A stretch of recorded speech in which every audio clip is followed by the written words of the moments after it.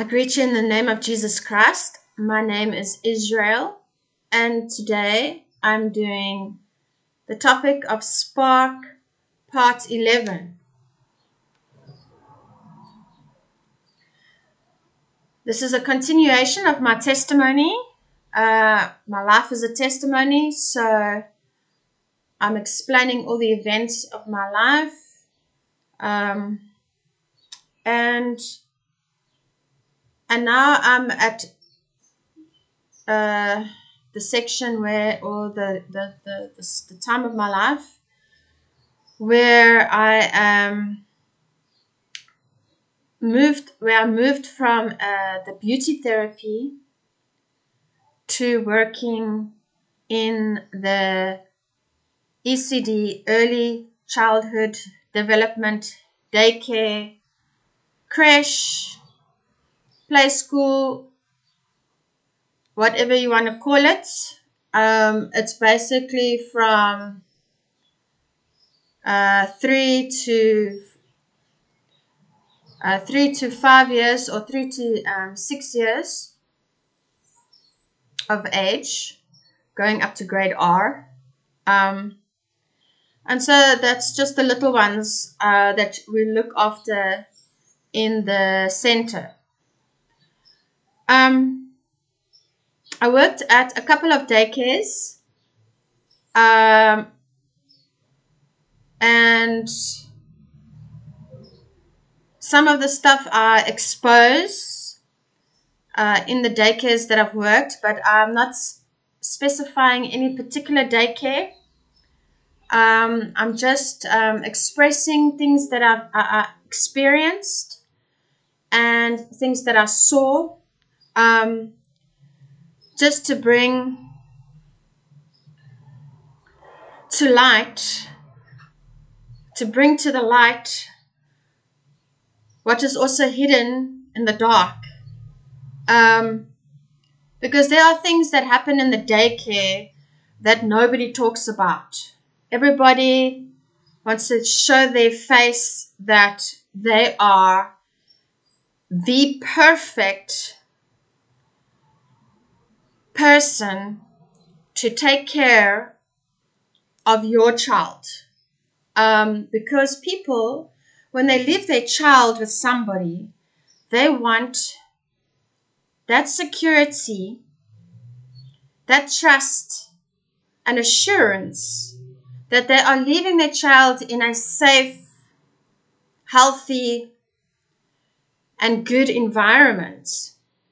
And so this uh, need that the market has, that the parents have, is a need that the entrepreneur, that the business owner wants to meet.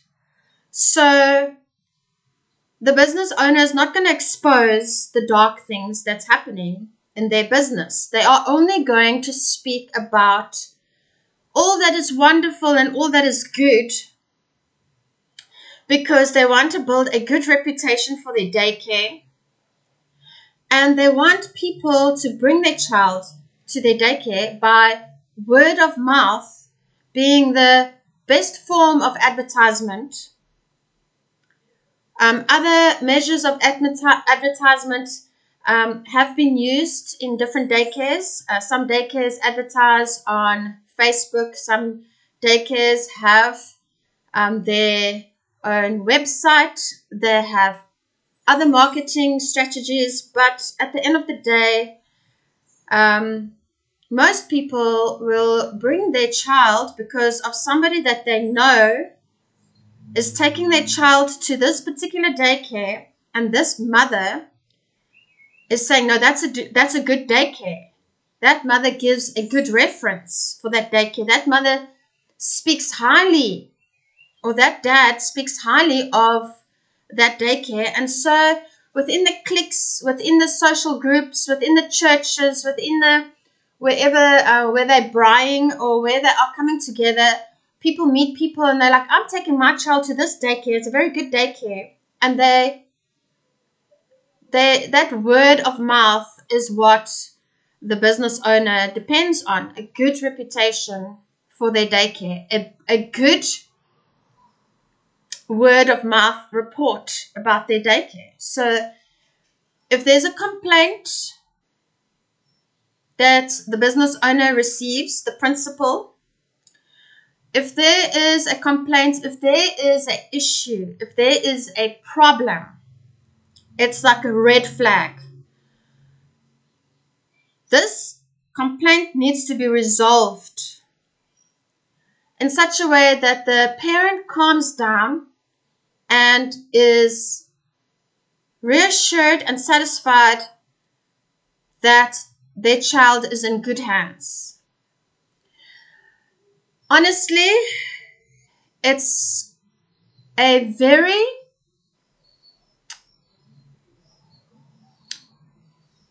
highly pressurized expectation from the parents that absolute, absolutely nothing must ever go wrong whilst their child is under the care or the carers of the daycare because something can go wrong in your own home. Even you as a parent and you can be a wonderful parent, a loving parent, a caring parent, a careful parent, a vigilant parent. You can be an educated parent, a parent that has knowledge, that has done homework, that has done research, that has done everything in their possible ability to be the best mother for your child, and something can still go wrong. Because a child will always be a child, and sometimes children play, and sometimes children do silly things. And while she's busy cooking, or while you are busy cleaning your house, or while you are busy working in the garden, or whilst you're even outside in the garden with your child, digging out the weeds or something, something can go wrong in a blink of an eye. It happens so fast. And it can happen in your own home. But if it happens in your own home,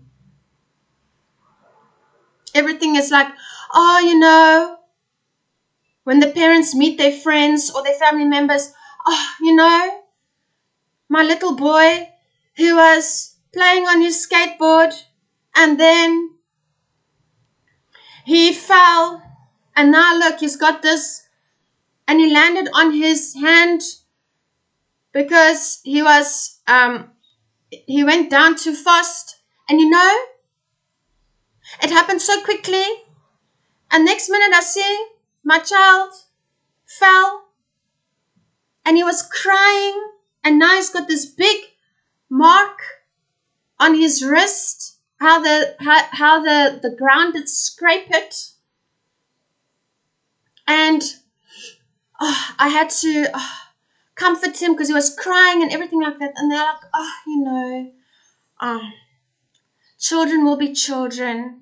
Oh, i'm so sorry this happened to you today and um, let me just.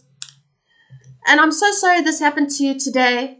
And uh, and the mother's like, yeah, it wasn't nice. And I, I had to check. I thought maybe he even did break his arm. But if that happens in the daycare,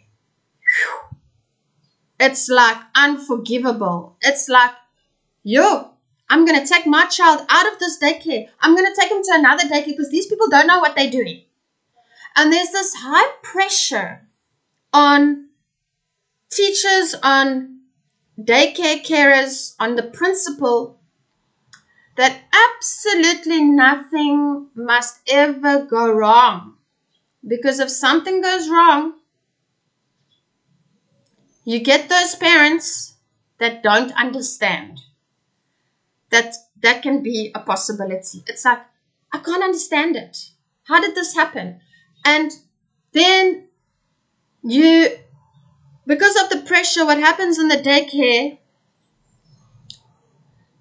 now the teacher must go apologize, or the person who was under the care of the child needs to write a report, put it in a book, put the time and the date, must go to uh, uh, the, the parent, apologize, explain everything what happened in detail, um, and just assure the parent, you know, it was an accident and things like that. Um, but still, on top of all of that, you get parents that will still take their child out of the daycare, and the principal loses a child, which means the principal now loses income. Um, I've, I've, I've had uh, children that scratch their own face when they're sleeping and their nails are too long. Um, but at the same time, the carer doesn't want to take the responsibility of clipping the nails at school because what if you nip the child whilst clipping their nails? Then the parent's going to complain because you nipped the child while clipping their nails. So to avoid that complaint, um, it's like, no, let's leave it up to the parents to clip the nails. And then you don't clip the nails, then that's also a problem because then when they're sleeping during nap time, whilst they're sleeping, they can scratch their own face. It has happened where children fight and they get in a bad argument and they scratch another child's face on purpose. It has happened. But I want to ask you how is the carer, how is the teacher going to prevent that from happening because it happens so fast. We're busy in the class, busy playing with Legos. This one took that one's Lego. This child took that child's Lego. Now, because that child took the other child's Lego, the other child got angry and scratches his face. How? But the carer is there. The teacher is there. How fast must the teacher move to prevent that scratch from happening? Then, when you give the child to the parent, you must explain what happened. You have to write it down. You have to write the dates and the time in your in your report book and explain to the parent, you know, the scratch, what happened, they were playing Lego, and then the parents like, I don't like the school. The school is too rough. Why do why do you allow children to bully my child? Why do you allow your your children to to attack my child? What kind of a carer, what kind of a teacher are you to allow bullying in your class? So much pressure on the educators, so much pressure on the teachers, and they are trying their best. As it is, they are trying their best to eliminate the bullying and the fighting by telling stories, by counseling, um, repetitive uh, uh, instructions to play nicely, don't fight, to to to to counsel their mind to be calm, but children will still be children at the end of the day. Children are not perfect. Adults are not perfect. Nobody can ever be perfect all the time. Someone's going to get angry. Sometimes the children get angry. Sometimes the children, because they're still children, they don't know how to deal with their anger and they can do something. But I don't understand why. Um, and if a child is bullying another child, that child will face the consequences. That child will be spoken to. And, and uh, you will explain to the child this is not how to deal with somebody if they if they take your Lego. You don't scratch them in the face. Then you take the child, you remove the child, you put the child in the naughty corner, but you don't you just put the child in the corner. Because words, you cannot project words on children and say it's a naughty corner and give them a psychological image of themselves of being bad. So everything is very technical and everything you do, you must do it with insight and depth and understanding because you're dealing with a small mind, you're dealing with a small human being, you're dealing with a spirit. That child has a spirit, that child has feelings, that child is in a world of his own. And you have to go down to that child's level to understand from the child's perspective what is happening this child took my Lego. I'm angry. So everything is not always about you bad, you this, you that. You have to also understand from a child's perspective what's happening. And also allow the child to work out the consequences for their behavior in a constructive way that's not destructive to their psyche and emotions. So it's very technical, but you, you deal with parents that can't understand any of this.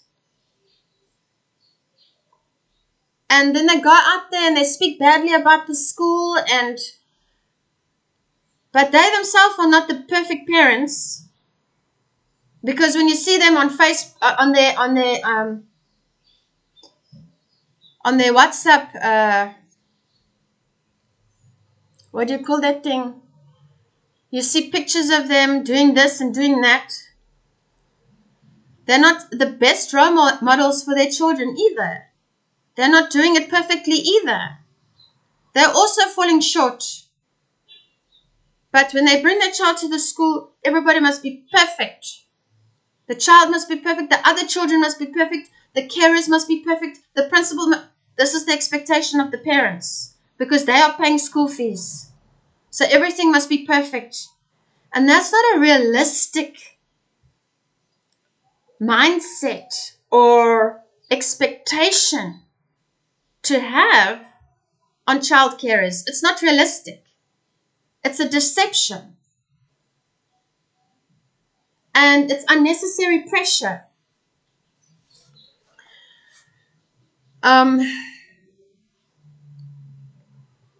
So, because of this pressure, there's a darkness that comes into the school. I'm not talking about any specific daycare I've worked, worked in, but I'm talking about daycares in general that I've worked in, that I've been exposed to. Um, and different things happened in different daycares. Not all of them in the same daycare. I'm not talking about one specific daycare. I'm just spreading it out. What happened here, what happened there. And just exposing a bit about the darkness that creeps into a daycare because of the pressure the parents put on the principal and the teachers and the, the, the carers of the children. Um, I've worked in daycares where uh, I've worked, I've worked, worked, I've, I've been exposed to daycares where some of them, not all of them, experience this pressure of parents complaining. They can't handle the complaints all the time. It's so stressful for them. And because they're under the stress and pressure, the principal now is afraid for children to play. Okay? Because if they play, they might get hurt. If they play on the jungle gym, they might fall and bump their knee. If they play, they might trip and fall and scrape their hand if they play, they might bump their head. So now we don't want accidents because when there's an accident, we have to write it in the report and then we have to explain it to the parent and then we have to calm the parent down and we don't want to lose children. We don't want to lose money and the parent might take the child away to another school and talk badly about the school to other people and then we lose other children from coming to our school. So now we minimize the playing. They must sit still.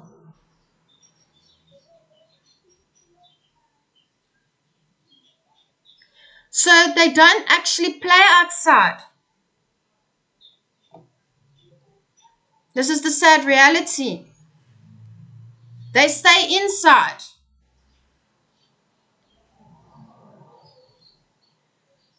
Because we don't want them to get hurt. We want to minimize the, the, the cases of injury. So they stay inside. They stay in their classroom. Um, they are kept busy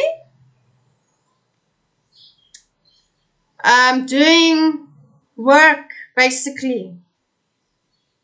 So they work more. The playing thing is kind of like taken away. And they can't play outside. Um, and so they just do more like work, coloring in and just being inside, maybe building a, a Lego or um, building a, trying to build a puzzle. Um, listening to a story from storytelling. So, and they must sit still. They must sit still on their chair. I mean, on their, yeah, on their chair by their little table with their other friends next to them. They must sit by their table. They must sit and draw. They must sit and paint. They must sit and do their Play-Doh. They must sit and do their Lego. They must sit the whole day and be quiet. They mustn't make too much noise. And they mustn't get too excited. To keep everybody calm. Because when there's excitement, there might be an accident. And somebody might get hurt. Because when children play, what happens also is when they play, they can get into an argument. And they can fight. So everything has to be calm. Now it's time to get up, to go to the toilet. There's some movement. I'm free from this from this chair and this table. And now this excitement builds up because they are going, they're moving to the toilet for toilet routine. And now they get naughty in the line And then they get told, be quiet. You're in the line. Stand in a straight line. These are rules that are in, uh, uh, put in place by the principal who wants everything to be calm all the time. The children must be calm. Everything must be calm. The line must be calm. So now, keep quiet. Keep quiet. Stand in line. Put your hands behind your back. Make a neat line. So now they are still confined and still restricted from having freedom because we don't want injuries. We, we don't want them to get too excited. They're not allowed to fight because if they fight, the one might push the other one and he might fall down and bump his head. So everything else must be calm. And then that's the fear that the principal has that, that she now puts these rules onto the teachers and carers, and now everybody must follow the principal's rules of the school. And she will, the principal will walk around to check if everything is according to her rules. And if it's not, the teacher gets into trouble, the carer gets into trouble. Control your children. If you are a good teacher, you will have them under control. So everything just goes into this control mode. And they're inside the whole day because they're not actually going outside to go climb the trees, to climb the jungle gym, to slide, to kick the ball because we don't want them to fall and graze their knee or something. They can't have a bruise, they can't get a scratch, they can't bump their head, they can't bump their mouth, they can't do anything, nothing must go wrong with them because of the fear that the parent will take the child out of the school. This is what's happening. I'm not saying it's happening in all the daycares. It's happening in some of them. Please get me right. So some of the daycares are doing this. And then uh, after their toilet routine, they go back to their little table, their little chairs where they sit down. Now they can eat. So the, the educare teacher brings them their food. And now it's time to eat. But you only have so much time to eat. Because you must follow the daily routine strictly and religiously. Some children eat faster, some children take very long to eat. Some children don't want to eat. Some, some children refuse to eat. When that 15 minutes is up, the food gets packed away back in the in their in their bags during whilst they are eating.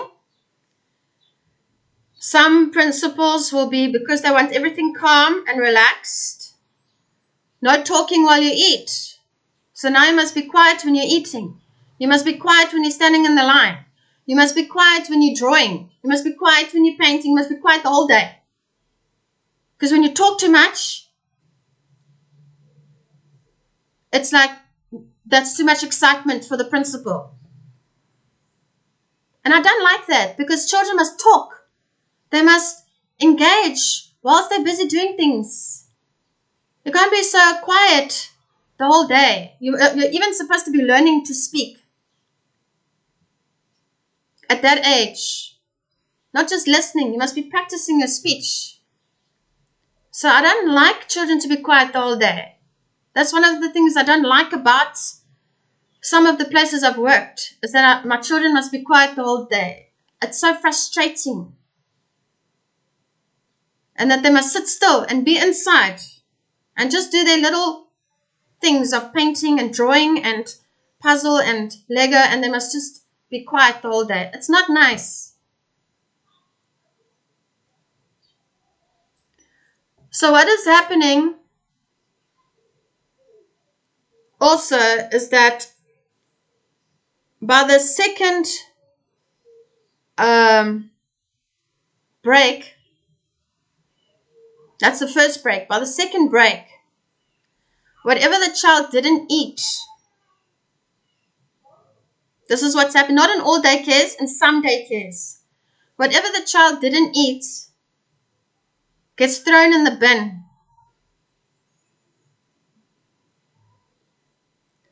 Why? Because parents complain if their children didn't finish their food. This is the pressure the parents are putting on the teachers and the educators and the principal. If their child doesn't finish their food, if their child doesn't want to eat, And you can't force feed a child that doesn't want to eat.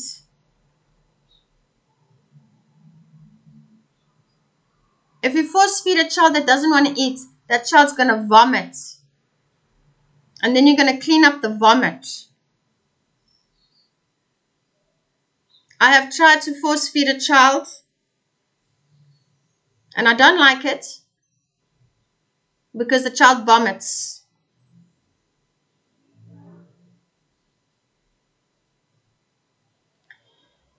And because you only have so much time to eat, the child vomits because he can't finish his food in time because he can't eat so fast. This is where the darkness comes in to the, the school. This is where the darkness comes into the daycare. Because parents insist that the children must finish all their food. Now, some of the parents are giving too much food for their child to finish. Maybe this child is two years old or three years old and has has two um, four slices of bread with beef and cheese and uh, three yogurts and a banana and a little Tupperware with rice and stew and a fruit salad. I'm not, I'm not, I, I'm serious. I'm telling you the truth. And they want this child to finish all of that food. I've had like a three year old that have big hot dogs, but with the with the boerewors inside, the big big boerewors, the big fat boerewors inside, big hot dogs, two big hot dogs.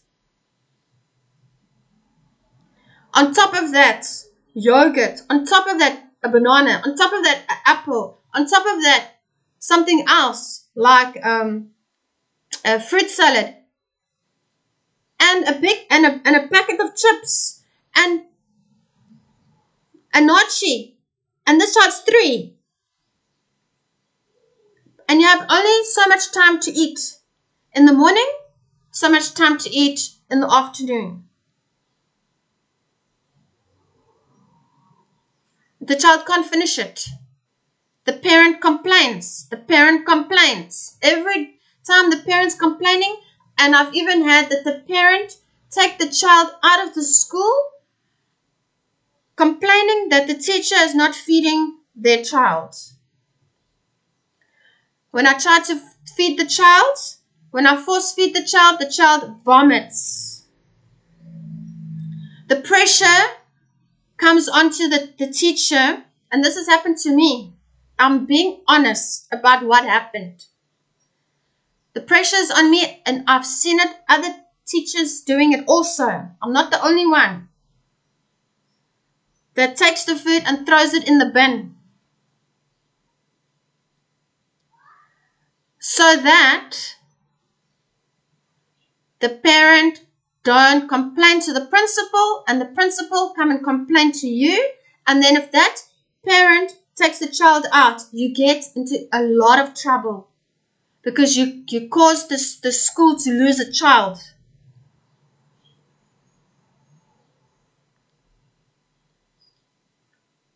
The Holy Spirit did convict me of this. As time went on, the Holy Spirit did convict me of throwing food away because technically it's lying. Even though I didn't say to the parent, Listen, I did throw your food away because your child didn't finish it. Just because I didn't say that to the parent and I kept quiet and threw it in the in the bin, it's still a lie, whether I told the parent or not. Because it's deceiving. Now the child goes home, the lunch boxes are empty, and now the parents think, ah, what a good teacher. My child did finish all her food today. And they think, oh, tonight I'm lazy. I don't feel like cooking. Ach, I won't cook tonight. I'll just give my child a little bit of porridge because my child already ate at school. the two hot dogs that I gave, the, the, the rice with stew, the banana, the apple, the yogurt. Ugh, tonight I'll just take a break and give my child a little porridge. So this is the danger. The parent thinks the child ate all that food in the day and might be lazy to cook that night and the child doesn't eat supper either. Some parents can't feed their children at home because the child doesn't like eating, puts the supper, the dinner, in a lunchbox, takes it to school, and expects the teacher to feed the child because they couldn't do it. The child doesn't want to eat when they feed the child. They expect the teacher to do it. Now you only have so much time to, for, for the tea break to be finished, the lunchtime to be finished. They eat in the morning, they eat in the afternoon, and you only have so much time. If that child does not want to eat, and is just sitting with the food in his mouth and not swallowing,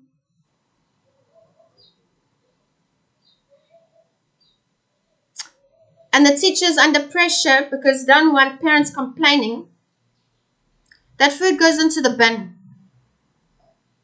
The child didn't eat. The child's not eating at home.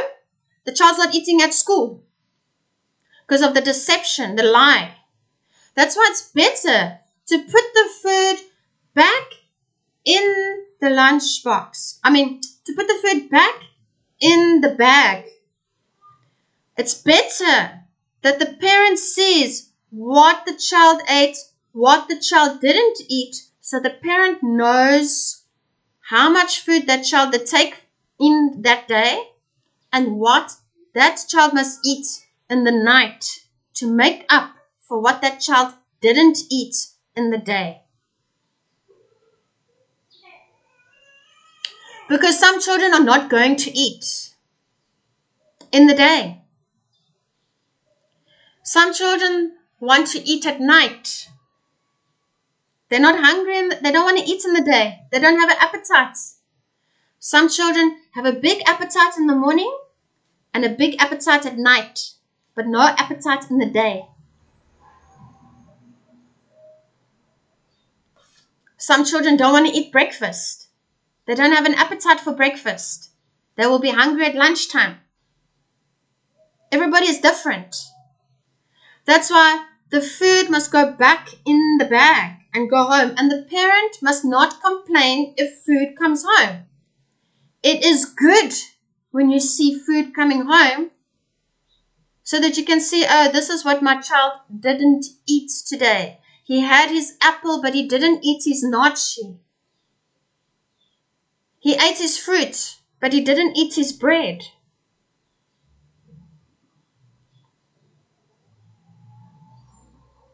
To force feed a child in the daycare takes up time and it can also be kind of like a power struggle and it can become a a um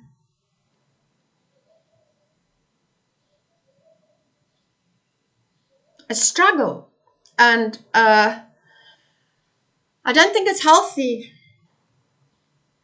to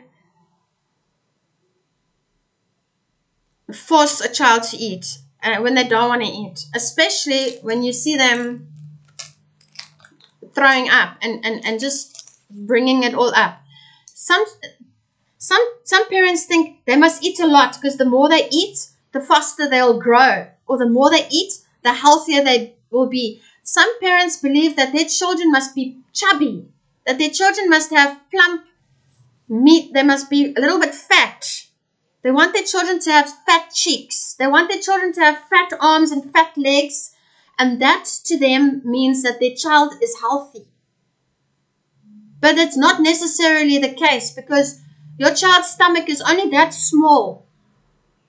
And to jam pack, jam pack that stomach, it can come up and the child will throw up because you're putting too much stuff down. And maybe that's how the parents are feeding them at home. And so when they get to school, they're like taking a break from all of that. They're like, when they see food, they're like, no, leave me alone. I'm so done with this force feeding. I get it at home.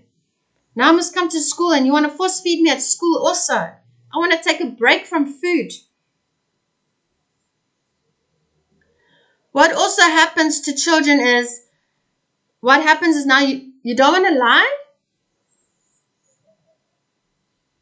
because I got convicted about throwing food food in the bin. So now I must make sure that the child does eat.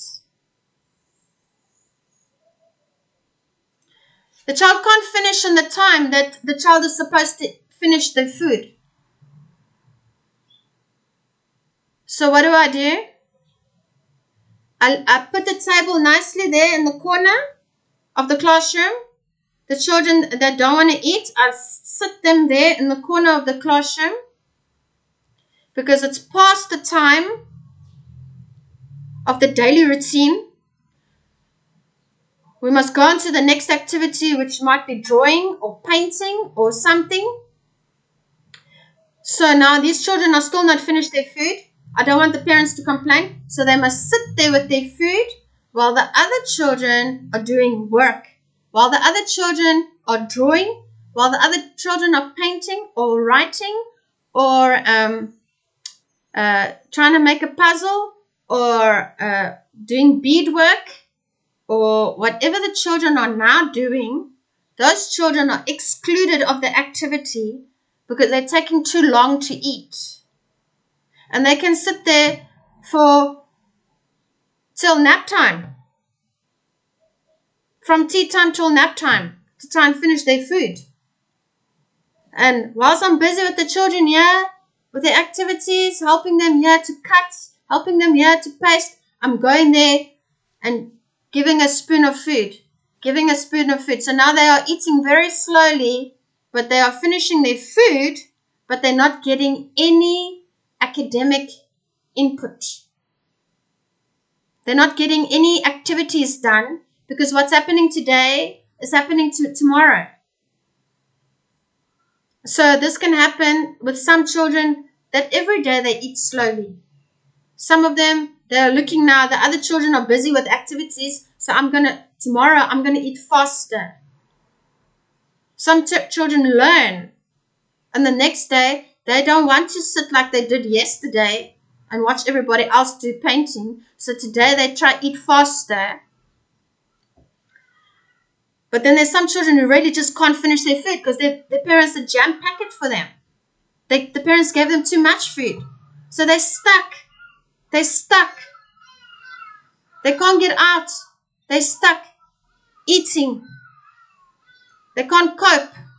It's too much for them. They're stuck eating while other children are doing other activities because they got jam packed with this and this and this. They must finish all of this food. And the parents think that they are good parents doing that to their child, but they're actually doing harm to their child because they are the type of parents that will complain if their child doesn't eat. And the principal doesn't want them to take the child away so the child just eats the whole day till nap time to prevent a complaint.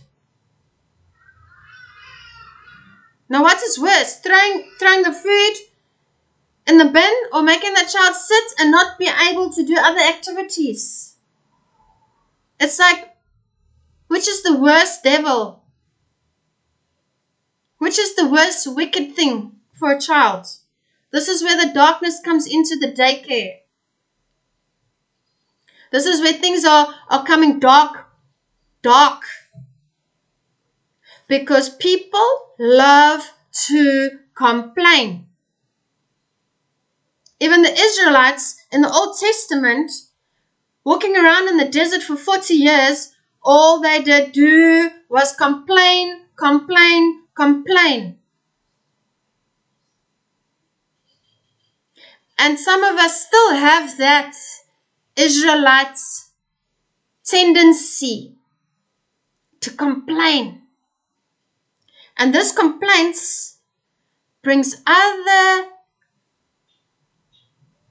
um, areas, these complaints allow the devil to come in and do his work. Where there's complaining, the devil is working. His darkness. That's why the Lord says, Be thankful and do not complain. Don't give the devil a foot or a toe or access into your life to work his mischief in your life, to curse you somehow. Because murmuring and complaining can cause the devil to do something to you. These parents that are complaining, complaining, complaining, complaining, they think they're helping their child, complaining to the principal. They think they're helping their child, complaining about the teacher. And they think now we are going to do a better job for their child because they complained. Because they think that they, these, these parents think we don't know what we're doing. They think we don't know how to look after children, but we do it every day. And it's our job. It's like saying to a nurse, you don't know how to do your job. It's like saying to a doctor, you don't know what, what you're doing. I, I think you must do this operation, not that operation. Now you're coming to the school and you're saying, this is wrong and that is wrong. And you want to complain, complain, and complain because you're a mother, because this is what you do at home.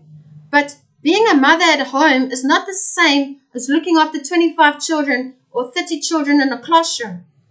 It's not the same thing because you're looking after one child or maybe two or three. Maybe you have seven children at the most at home. If I had to, if I had a classroom with seven children, it would be so much easier and so much more practical and it would actually be better than me having a classroom of 25, 30 children on my own with no assistant. Because this is what's happening. Some principals, they don't have finances, they don't have a strong finance, or maybe they do have the finances, but they want to hold on to their money, but there's expenses, there's rent, there's paying the teachers, there's water and lights, there's their own rent at home, there's their own expenses at home. Maybe they have to pay school fees for their own children, and all of these things add up, and so they don't bother to get an assistant for the teacher in the classroom. She alone must look after all 30 children or whatever because there's just no money to pay all these salaries. And then on top of it, that teacher with no assistant must clean the classroom, clean the tables and the chairs, clean the mats that they sleep on, sweep and mop, sweep and mop, sweep and mop, maybe three times or two times a day. There will be spring cleaning day where the where the teacher will come in on a Saturday to clean windows, to clean all the, the Lego, to clean all the toy the, the, the toys, to clean like like super clean the place with no extra pay for free after hours. Teach, teachers get exploited. Teachers have to even clean the, the toilet that the whole school is using. They must clean the toilets. They must clean the kitchen. If there's cooking in that school, they must help cut the vegetables, help peel the potatoes. They must do all of this and they must do their prepare their activities for the children, do the activities with the children, feed the children, clean the whole, the, like clean the, the kitchen, clean the bathroom, clean the classroom. I've worked in a school and I love gardening. Don't get me wrong, I love working in the garden. But there's daycares where they, the principal even expects you to clean the garden, to work in the garden. Now, I don't mind doing that. I don't mind watering the garden. I don't mind pulling out the weeds and planting and carrying on in the garden. But other teachers don't like it. They don't enjoy gardening. For me, it's not such an issue, to be honest. I love working and I can work hard. I am a workaholic. I don't like sitting still. I like to be busy. I like to be doing. I am a busy person and I like working hard. It's in my blood. But not all the teachers are like that. So you can't do that to all the teachers. There must be a balance. You need to respect your teachers and your child carers. Some of these teachers, there was only one place that I worked where we were allowed to have an hour's lunch break. You don't get a lunch break. The, the, the, the teachers, they don't get a break. They must eat whilst they're looking after the children. They must have their cup of coffee whilst they're watching. They're always watching, always working and cleaning. I've seen, it wasn't me myself, but I, I saw a teacher where I worked. She would wash, there was a washing machine. She would wash all the bedding, all the blankets. She would do washing of, of, of clothes. Okay, I would wash clothes if somebody did vomit or wet their pants or something. I will wash it by hand. Hang it up to dry and put it in the bag clean. I won't send dirty clothes back to the mother. I'll clean it hang it up. If it's not dry in time, I put it wet back in the bag and say, I did wash it, it just needs to be hung up. It's not dry yet. But this other teacher, she was hardcore, man. She's number one. She washes, but she had a washing machine. The school had a washing machine. She would wash all the blankets. She would have, she'd love washing the blankets. At least once a week, she'd wash all the blankets and hang it up everywhere before she goes home so that the next day, when she comes back to school in the morning, it's dry, it dries overnight. Um, so teachers, they do more than just teaching in a daycare. They clean. They, they, they will wash, poo and pee if a child is potty training and poos in his pants, they will wash it. They will clean the vomit off of the floor. They will clean the vomit off of the child. They will wash the child's clothes. They will wipe the snot off of the child's nose. They will wipe the child's face. Now, this is another thing where parents complain. If you give the child to the parent, and the face has got snot on it or it hasn't been wiped. Even if you've been wiping that child's face the whole day. But now you're in a hurry to get the child to the parent and you were distracted with something else or something happened and you quickly give the child to the parent and you didn't wipe the face before you gave the child to the parent. That parent will complain. You're not looking after my child. My child's face is dirty. But you know you've been cleaning that face the whole day. But now the face is dirty before the child goes home. Or as you're taking the child to the parent, from picking up the child at the daycare to going home, the child had a poo in the nappy. When the parent gets home, the parent says, Ah, your teacher didn't even change my child's nappy. Meantime, that child's nappy was clean when the child left, but the child did have a poo on the way home.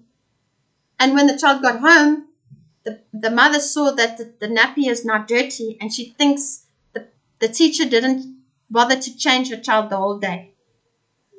Which is not like that. Sometimes it can happen that a parent uh, that, a, that, that a teacher didn't change the nappy and gave the child to the parent didn't check didn't check to see if the, the, the nappy is clean before giving the child to the parent it can happen like that But that doesn't mean that that child didn't get changed the whole day. Maybe the, the, the, the carer didn't think properly, was busy, was distracted with something else. We are human. Sometimes we don't do it perfectly. Sometimes we don't do it right because we are busy with other children. How many children is in your class? And you're supposed to check that nappy before you give it to the parent. So it can happen. But it can also happen that you give the, the child to the parent with a clean nappy, and from there, going home, the nappy gets dirty, the teacher gets into trouble because of complaining. Then you have parents that don't bring nappies to school and they expect you to change their child with the other parent's nappies. If another parent puts five nappies in the bag, they expect you to take that nappy and change their child who didn't come with a nappy. That's stealing. Now you send this, this child had a poo. What must I do the whole day with a poo nappy? And the, the teacher is tempted to use another parent's nappy.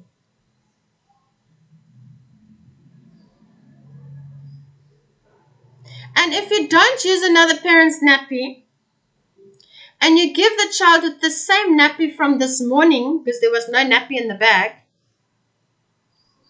the parent gets so upset, they take the child out of the school they take the child to another school, and they're like, How can you let my child walk around with a dirty nappy the whole day? Just because I didn't have a nappy in the bag. Why didn't you make a plan?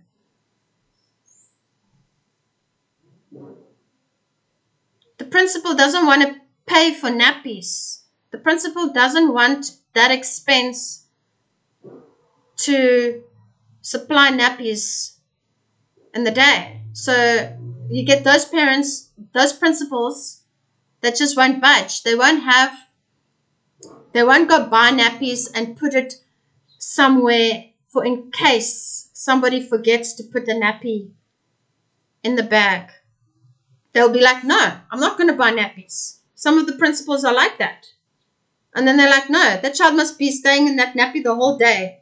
Because why must I pay for that child's nappies? Then they lose the child, then they get upset. Because they also don't want you to use the other parent's nappies. This is where things go wrong in the daycare. Or you have parents, they put the, the nappy in the bag but they don't put enough nappies in the bag. Maybe your child has more poos in the day than another child. Maybe your child poos three times a day and the other child only poos once a day. Because not everybody is the same. So you can't just put one nappy, it's not going to be enough. Some parents, they put nappies in the bag, but they don't put any wet wipes. Then you get teachers who are tempted to use other people's wet wipes because this one doesn't have a wet wipe, this one doesn't have a cloth. How must you clean it? How must you clean the poo bum with no cloth, no wet wipe,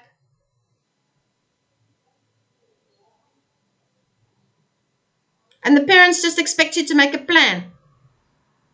And the principal's like, it's not my problem because I'm not paying this expenses. So who pays for it? The teacher. There's a lot of times the teacher takes money out of her pocket where parents are not taking money out of their pocket. And the teacher is already getting a small salary of maybe 2,500 Rand a month or 3,000 Rand a month such a small salary that the teachers are, and educators are getting.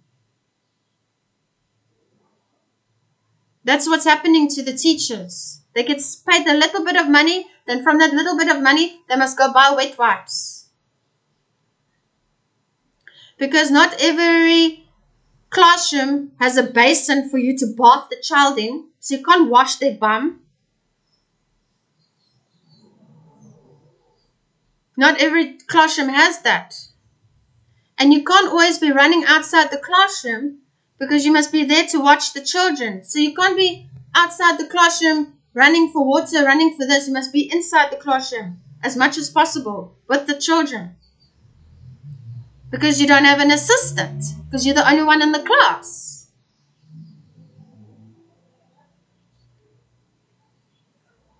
Little problems, little things that go wrong. Um,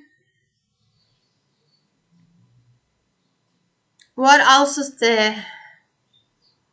I spoke about the nappies. I spoke about children not hurting themselves. Um, I feel like there's a lot of competition between daycares. There's a lot of competition between daycares and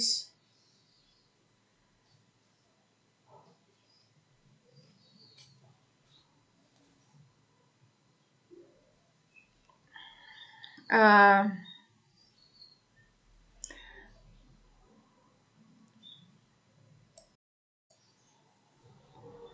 okay, I just took a little break and I came back. Um, so I also feel like what's happening in the classroom is that uh, There's too much pressure on these little children to be academically advanced. Not all the daycares, but some of the daycares, they put a lot of pressure on the children to read, to write at a very early age um, to know the alphabet, to know how to count to a hundred, um, to write their name at a very early age. Like they want them to already know how to hold a pencil and to to to draw something at two and they already want them to be able to read short words at three and to to to to read short words and to know the alphabet. And they must already know how to write their name. Um, and write to a hundred. Like they already want them to be able to write their name and to write uh, numbers and that uh, before even going to grade R. They want them to be able to write and read short words like cat and mat and dad and sad and glad. But they are so, I feel like it's too much too soon. And the pressure is on the teachers to perform this so that the word of mouth can go out that this is a very good school because the children are coming home and they already know how to, to count to a hundred. They already know their alphabet. But what they don't know is that this child is sitting in class for many hours in the day, having to sit still and learn it when they should be playing, when they should be uh, playing dress up, playing dolls, uh, fantasy play, playing outside. Play is very good for children and it helps them not to get stressed But now they are so academically pressurized that they are inside the classroom learning to count to a hundred. So that they can go home and count to a hundred to their, their parents. So that at graduation, or not at graduation, like at the, the, the end year party or whatever, and you do your little concert, they can recite their their their oh I can count to 100. Everybody's counting to 100 to, to advertise the school for being very academic. When these children are still so small and children are supposed to play and be free and have friends and and for their imagination to be developed and to be creative in dramatizing uh, fantasy play, exploring their imagination, exploring their storytelling, um, exploring different characters, playing mommy mommy, playing uh, different characters like Granny, and doing different things and exploring their senses, playing with uh, uh, flour or playing with sand or playing with um, a, a, a, a rough mat or something different than just sitting there trying to remember to count to a hundred.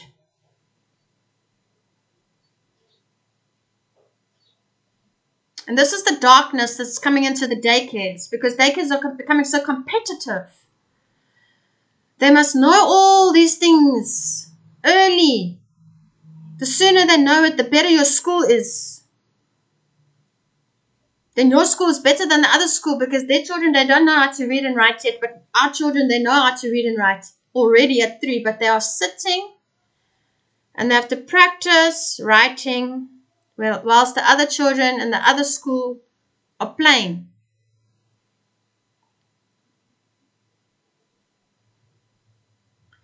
Now the child comes home. Maybe the child stays in a small flat. Maybe the child stays in a room. Maybe where the child stays there isn't children and can't play. So they sit in front of the TV. Because the parents want them to be quiet while they're cooking or busy. So when are these children going to play? When are they going to play? Depending on circumstances and backgrounds and cultures, um, some cultures hold their children inside the house to keep them safe. Other people allow their child to play in the street and meet their friends in the street and go kick the ball in the street and go ride the bicycle in the street and go play in the street. Okay, so now when you get home at five o'clock or six o'clock in the evening, whilst mother's cooking supper, you can play a little bit with your friends outside, but then after that, you must come inside and eat. And that's the only time you get to play the whole day. And children are designed to play.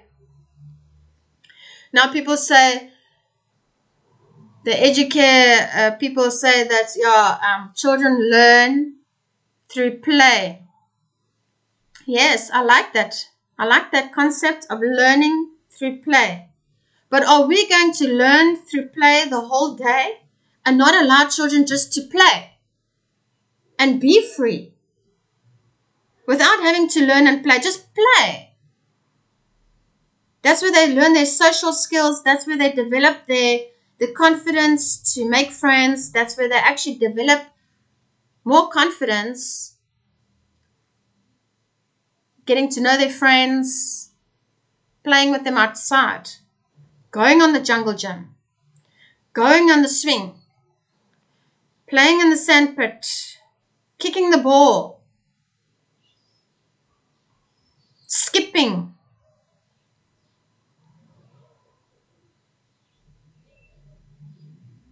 climbing the tree,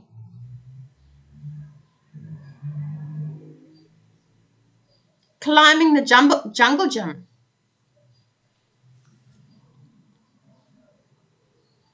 Playing with the hula hoop. Going on the push bike. But you must know, when you play outside, you can get hurt. Children can get hurt. I'm not saying they get hurt every day. I'm not saying that they get hurt every week. I'm saying it can happen.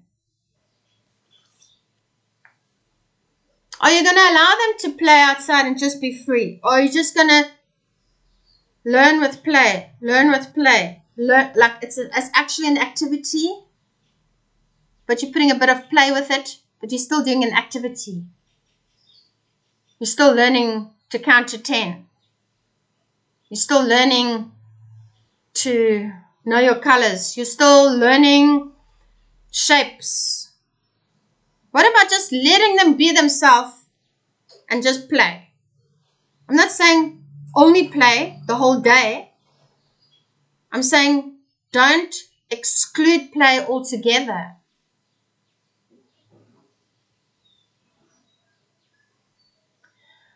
Um, and don't do it military style where they must now know how to write their name at the age of four and they have to practice every day this letter and this letter. And some children have a long name, so they have more letters to learn. Some children have a short name, so they get to know, their name faster. And then they go home and they're like, oh, I can write my name, and I'm only four years old, but that child's been sitting for hours, for weeks, even months learning that thing. When they could have been outside playing and learning so much more through play or just playing. Because just even just playing with their friends, they are learning social skills, they are learning confidence, they are learning how to do problem solving because they are whilst they're playing, there might be a little problem there that they have to sort out. They're learning to forgive. They are learning to get along. They are learning different things.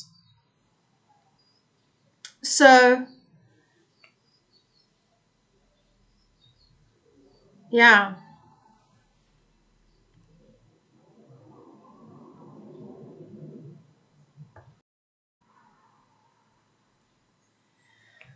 There's another thing that I want to expose about the darkness of the daycares. Some of these teachers, not all of them, some of these daycare carers, carers of children, are earning 2,500 Rand, 3,000 Rand, which is even less than a home executive. It's even less than somebody that you pay to come into your home to do your washing, to do your mopping and cleaning, to do your ironing.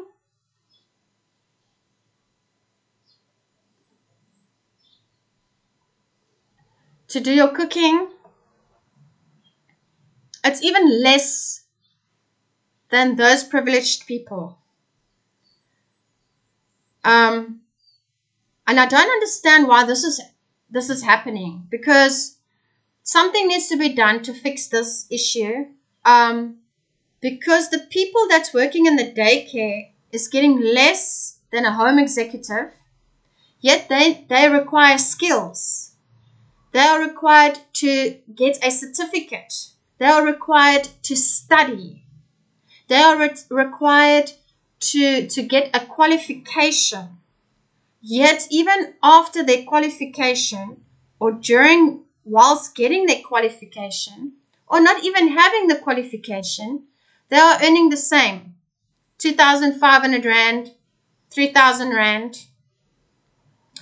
A grade R teacher might get four, 4,500 Rand, 5,000 Rand in a daycare crèche. I don't know how much they're getting as a grade R teacher in a proper big school, but in the little ECD, earning four, five,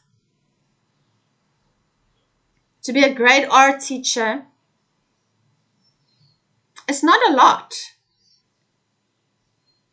And then if you're not a grade R teacher, you're even getting less. That now you're getting 3,000 Rand or two and a half thousand Rand because you're working with uh, three to four year olds. So you're not working with the grade R class. So now you're even earning less than the grade R teacher. But you're doing a lot of work. You are cleaning. You are not just cleaning your classroom. You are cleaning the kitchen. You're cleaning the bathroom, the toilets. You are looking after the children. You're working on your activities. You have to study. You have to get a qualification. Not all these educators and teachers are married or have a partner that can look after them. Not all of these educators or teachers uh, are living with their mother or their sister who can take care of them. Because if you're earning two and a half thousand rand, you still need somebody to help you. You're still dependent on somebody to help you, to survive, to live, because the income is too small. The income is too small to go pay rent and eat. So, what happened to me? There was a season that I was staying in a room. My salary was 4,500 Rand to take care of the grade R class. The other teachers in that school were getting less than me. They were getting 2,500 Rand. I'm not just speaking for myself, I'm speaking for them also. It's not nice. I was earning 4,500 Rand. My rent for my room, not even a flat, not even a apartment. My rent for my room was 4,700 Rand.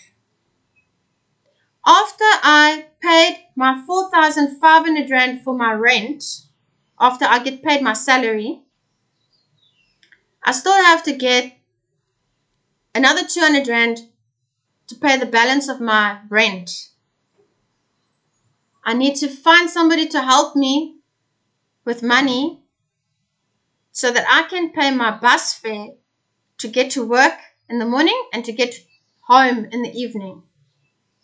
And then after that, I need to find somebody to help me with a food parcel, somebody that can help me with groceries. Every month, I am asking for help. Every, every month, I'm seeking somebody to help me.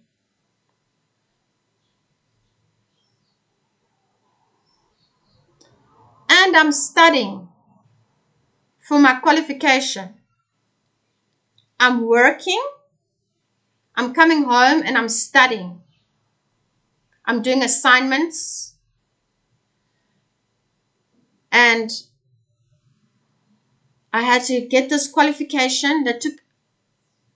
It's not like a few months and you have a. It's not like a two month course or a three month course. It's like a. It takes a year just to get one certificate. Okay. People were judging me. They said, Why don't you have two jobs?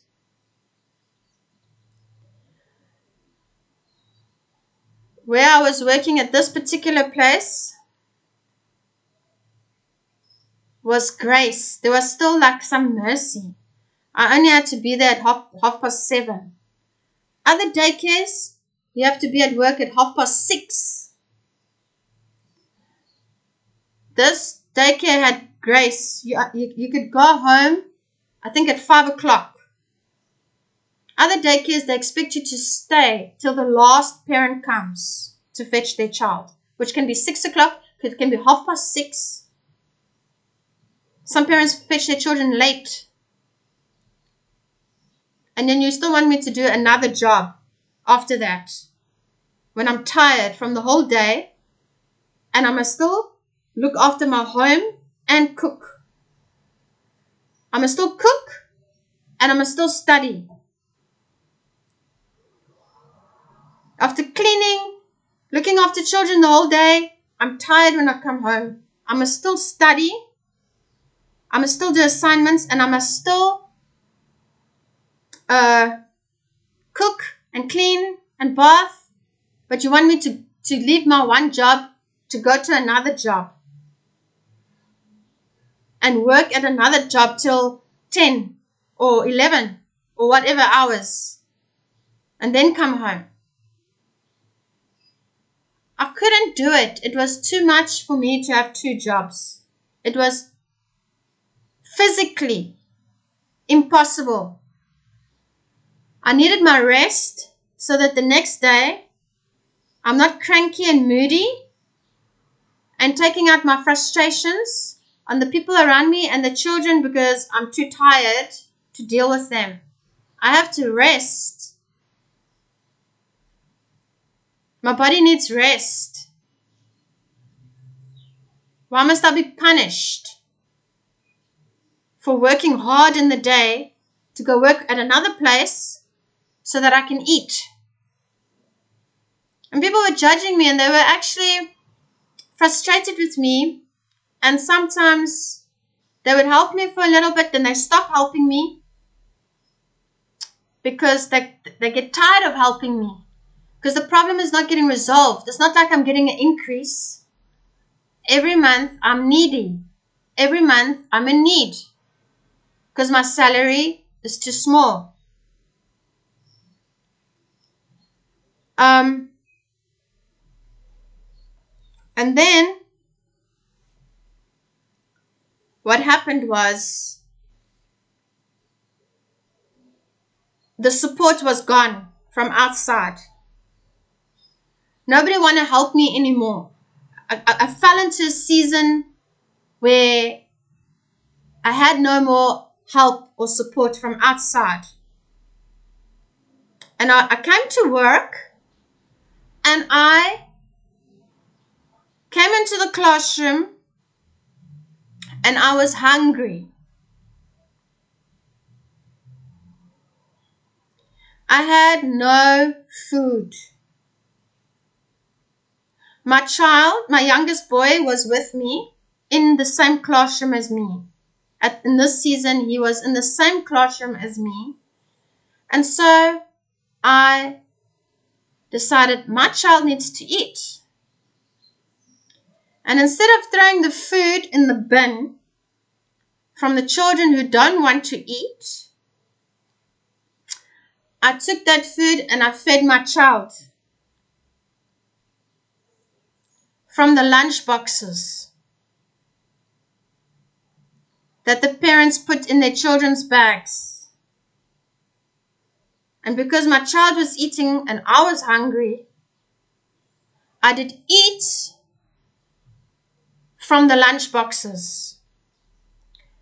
If I see this child doesn't like his sandwich, doesn't want to eat, I'd take that sandwich and I would eat it. If I see that child doesn't want to eat his banana and doesn't like it, I would take that banana, I would give it to my child, or I would eat it. And so we did survive. And that's how we ate in the month. Just eating the crumbs from the lunch boxes that the children didn't want to have. And it did help me so I don't have parents complaining that their children didn't eat in the day. And in this particular season, there wasn't enough tables and chairs in this classroom. So I let these children sit on the floor, and we'd all just sit on the floor and eat from our lunch boxes. Though I didn't have a lunchbox, my son didn't have a lunchbox. but we would eat from their lunch boxes. And then the one, and the, I was, a, I was a Christian. I was already a Christian doing this. But just because I'm a Christian doesn't mean I'm perfect. And we're all going through our walk in life, getting to know Jesus more. And it was, I think it was a Wednesday night, I'm not sure. Or a Tuesday night, I can't remember. Or a Thursday night, I actually don't know which night it was, but it was the cell group, which means once a week, the Christians come together from that church and meet at somebody's home and they have a Bible study there. And so I went to cell group that night with my son, and there was a prophet that came to visit that cell group. He wasn't there every week, but he was there that night. And it was a very special cell group, very spiritual. And this prophet looked at me and he said to me, God did speak to me earlier on. I think he said uh, God spoke to him earlier on in the day before he came to cell group and showed him a vision of somebody wearing this overall because I would I, I would like to wear overall when I go to, to work because I'm working with children and I don't want to mess up my nice clothes. But overall, if the child vomits on me, or if there's a mess with the paint or something, at least my clothes are not getting messed. So I had an overall that I like to wear to work. And I was wearing that overall at the group. And at this cell group, this prophet is saying, I had a vision of you with this overall earlier on. And God showed me a vision of you eating meat off of the floor. Tasty, quality meat, but you were eating off of the floor. You were picking up this meat from the floor and eating it. And he said to me, Behind me was all these big windows. And that is exactly the setting during the day in the classroom because behind me there was big windows and I was sitting on the floor eating from the children's lunch boxes. So this prophet had, a vision of me eating meat Though I wasn't eating meat in the classroom, but sometimes there was meat on the sandwiches. But it was just like symbolic that I am eating quality food, but I'm eating it from the ground. And the prophet said to me, Jesus is saying, don't eat off of the floor. Come and sit at the table and eat with me at the table. Don't eat from the floor. Come sit with me at the table and eat with me at the table. And I just looked at this prophet and I was like, oh. and I've I felt so grateful that God didn't tell him that I was eating the children's food from their lunchboxes because I was ashamed. I was embarrassed. And I wasn't ready to make such kind of a confession because how are the people going to judge me for doing such a thing? And so I I felt grateful that the Lord did kind of like also protect me from shame, but gave me a message.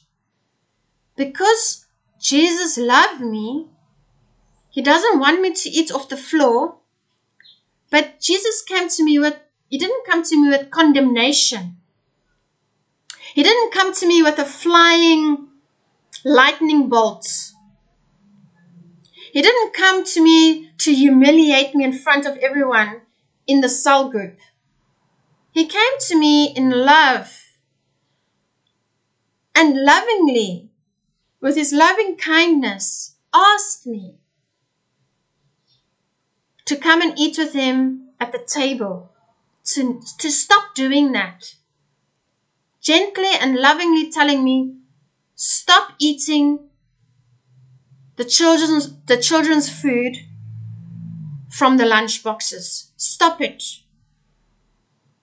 That's not what I want you to do. That's not what I want from you. I don't want you to, to, to eat the crumbs of other people. This is not what I want for you. You're my daughter.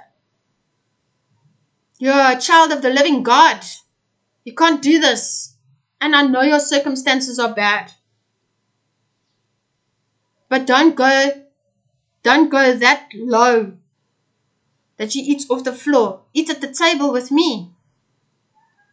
And I, I went home and I, I was like talking to Jesus and I said, Jesus, you want me to eat at the table with you, but how?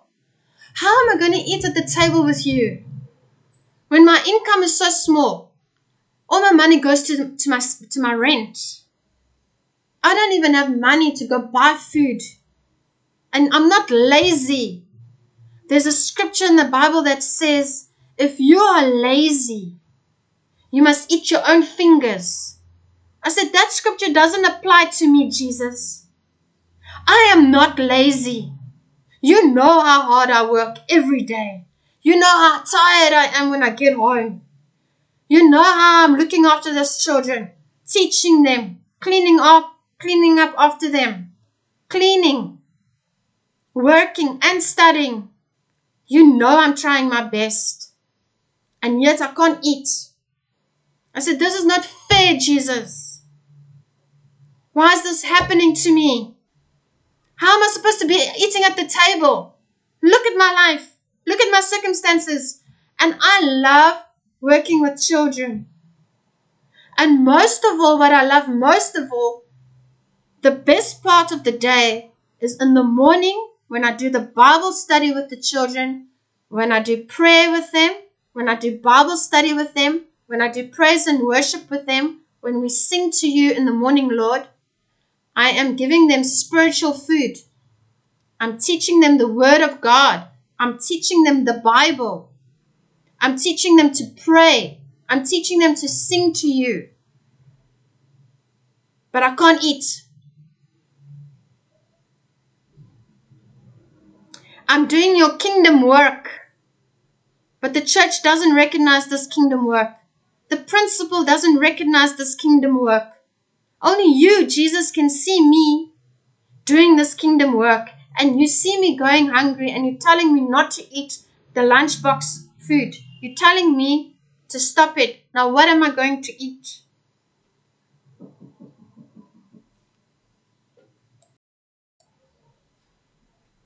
And so I was so frustrated, but I know I must obey Jesus because he used a prophet.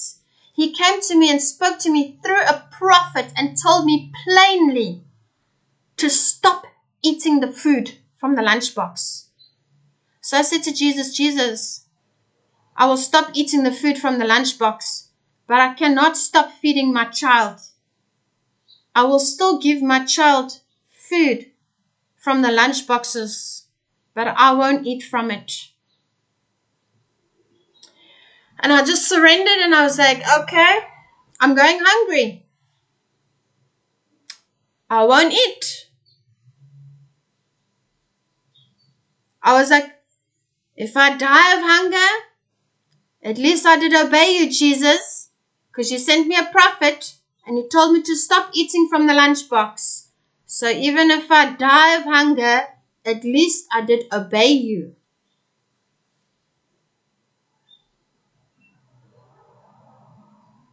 Because I was frustrated and honestly speaking, I was angry. And so I stopped eating the food. And then I went to church on a Sunday. And my cell group leader came up to me after church. And I was like thinking of going home now. And he stopped me and he said to me, Can I ask you something? And I said, Yes. And he said to me, Can I organize you a food parcel from this church? And I said, Yes, please. Thank you. I didn't ask this church for food because I had just left another church who stopped giving me food money.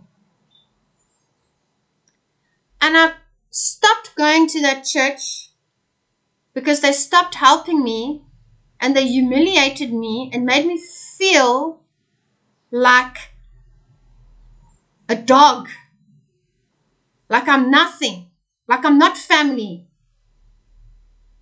making me feel like I'm doing something wrong, like they are condemning me and judging me because I'm not getting a second job or a second income after I'm so working hard and studying.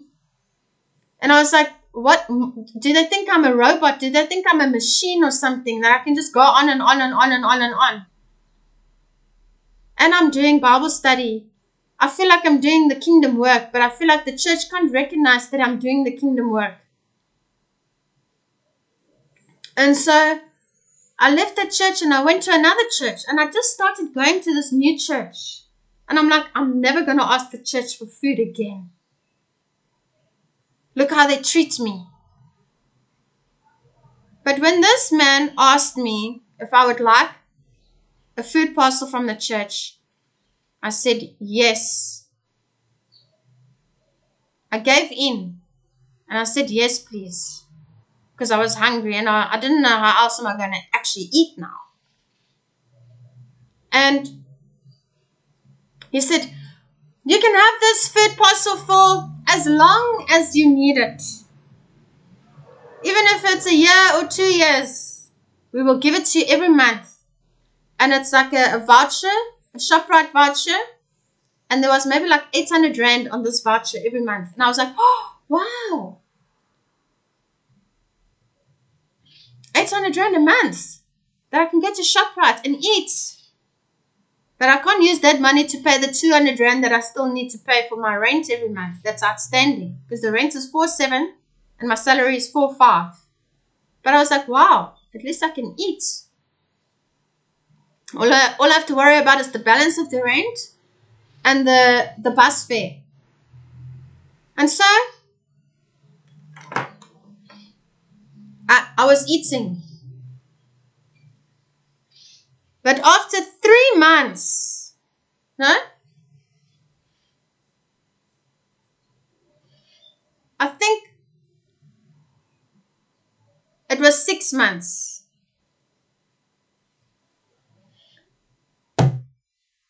They stopped giving me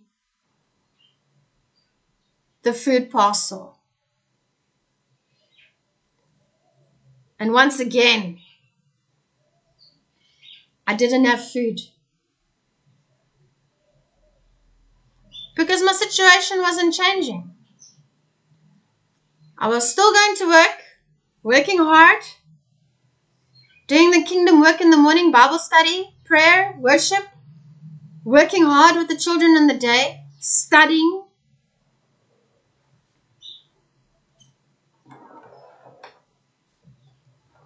I wasn't getting an increase this is the problem that's happening in the ECDs and the daycares. Sometimes the principals don't have enough money to pay proper salaries. Some of the classrooms are small, only a few children. Some of the classrooms are big, have a lot of children. Whatever the reason or case may be, the daycares are copying other daycares. They see that daycare is only paying two five a month. I'm also going to do that. So now it's a trend. Now all the daycares are paying two five or three thousand, and some of the daycares that are paying more. I take my hat off to them. They are being respectful towards their their staff, but it's only a tiny percentage. And you are blessed if you get into a school that can actually pay you a decent salary in a daycare. Because that doesn't happen often. That hardly ever happens. That is a kind principal. I don't know how to I don't know how, how this problem can be fixed. Maybe the government must be in charge of paying all the ECD child carers and teachers a proper salary where they can pay rent, even have a car, have their own flat, not stay in a room, have a car, be well taken care of. Let's take care of the educare carers and teachers who are taking care of your children in the day so that you can go pursue your career and do your job and earn the money that you want to earn or be an entrepreneur and work in your business and earn the money you want to earn. Why not let the educator carers also be taken care of who are taking care of your children? Why are they neglected? Why are they exploited? Why do people look down on people who are looking after children? Isn't one of those children your child? Is your child not valuable enough to be taken care of? Is it a job to look down on that someone is looking after your child? I don't understand that mindset. Because children are beautiful gifts from God and and and educators and teachers need to be taken care of who is doing the job of taking care of your precious children. Even if they are working in a daycare, in an ECD. Why is only the teachers in the big schools, primary schools and high schools getting good salaries, getting a flat, getting a car? But the one that's working in the daycare and the, in the crèche can't even eat properly and must stay with their mother or must stay with the husband or must stay with the boyfriend or must stay with the sister because they need help to eat because they can't actually look after themselves. They need somebody to help them.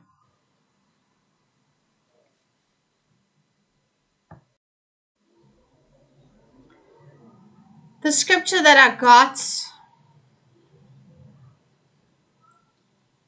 is Ecclesiastes 12, verses 13 and 14. And it says, The conclusion. When all has been heard, is fear God and keep his commandments because this applies to every person. For God will bring every act to judgment. Everything which is hidden, whether it is good or evil. Everything that is hidden everything that is kept in the dark. God is going to judge it, whether it's good or evil. So at the end of the day, we must all fear the Lord and do what is right, even when no one is looking. Let the Holy Spirit guide you on the right path. Jesus told me to stop eating the children's food from the lunchbox.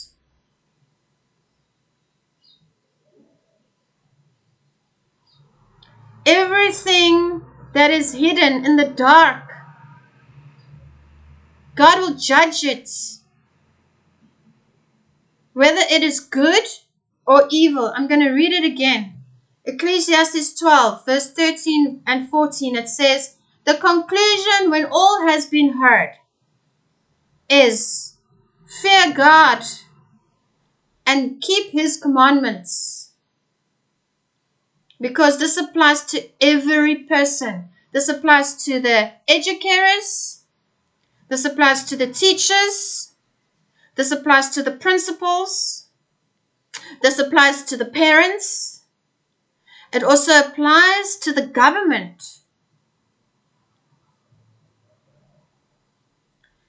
Where we are falling short in taking care of children, where we are failing them, where we are not doing it right for whatever excuse we have.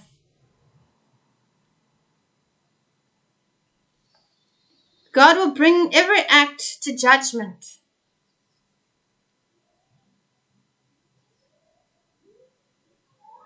Where the government is failing the teachers and the educators of daycares, we are not getting a good salary. To the children who are not playing outside enough every day, they must play outside for at least an hour to be free, not just play outside for 10 minutes or play outside for 15 minutes. They must play outside for an hour properly before coming back inside.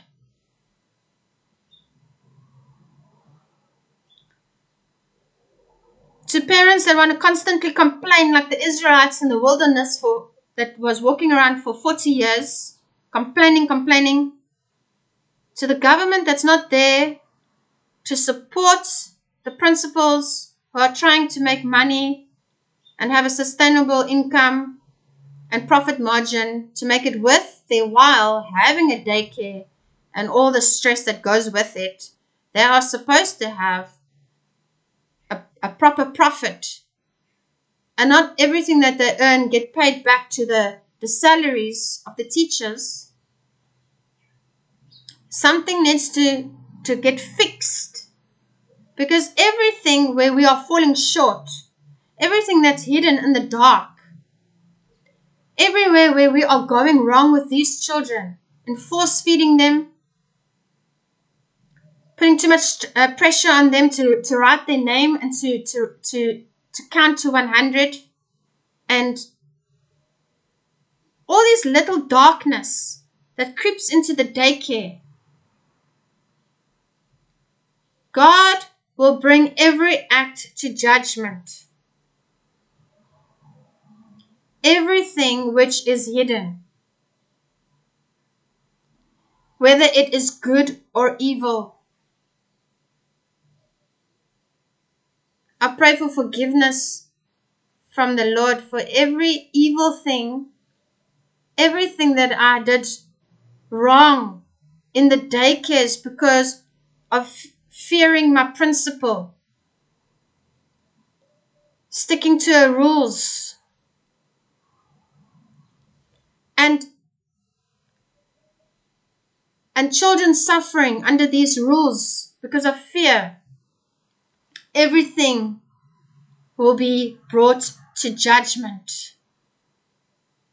Everything will be brought to judgment, whether good or evil. That's why I say to those teachers out there, those educators out there, those principals out there for daycares and playgroups, crèches, ECDs.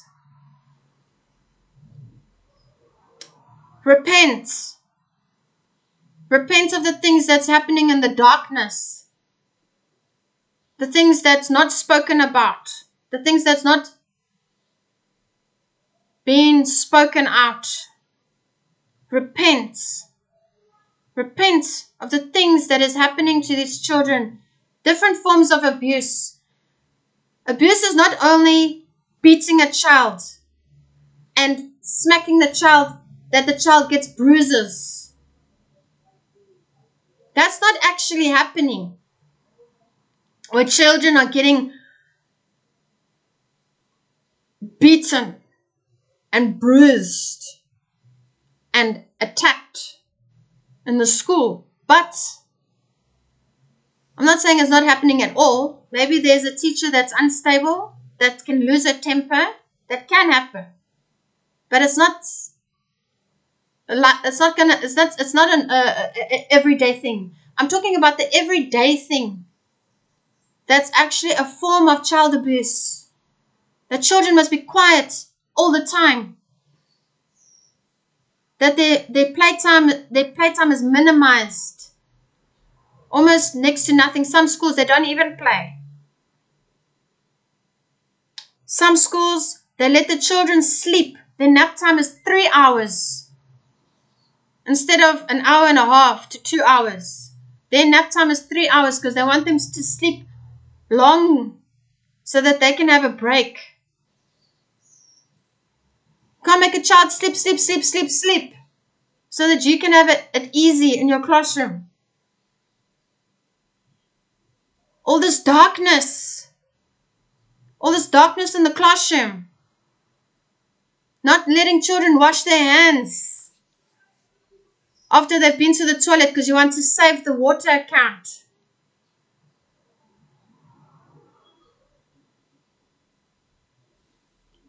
Or you don't want to buy sanitizer. You don't want to put pressure on the parents to bring toiletries every month, sanitizer, toilet paper, soap, to keep the classroom hygienic. Some daycares, they don't clean their classrooms properly because there's nothing to clean with. There's just water. You can only clean the place with water because there's no soap. There's no there's no Dettol. There's no thing to clean with. All these dark things, and then children get sick.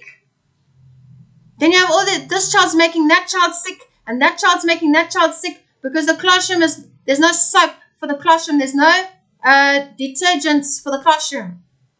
Because the principal wants to save money and don't want to ask the, the parents to buy it.